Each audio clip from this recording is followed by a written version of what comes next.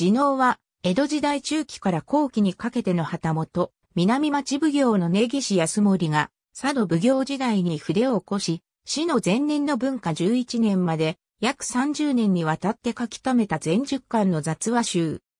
公務の暇に書き留めた来訪者や、古老の興味深い話を編集したもので、様々な階段祈祷や、武士や、庶民の逸事などが多数収録されている。耳袋とも表記される。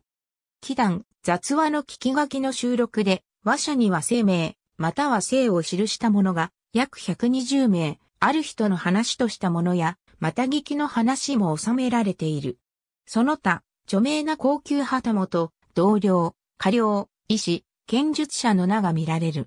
収録された話の内容は、そのほとんどがキー談、公説だが、虚偽の噂話や先行する小説の内容を事実談として収めるものもある。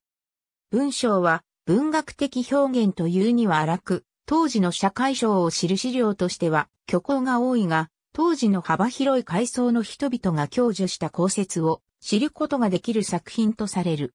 地能の書本は2巻本、3巻本、5巻本、6巻本、8巻本などがあるが、5巻本を2分して10冊としたり、貸本屋側で冊数を細分化したりした本が見られる。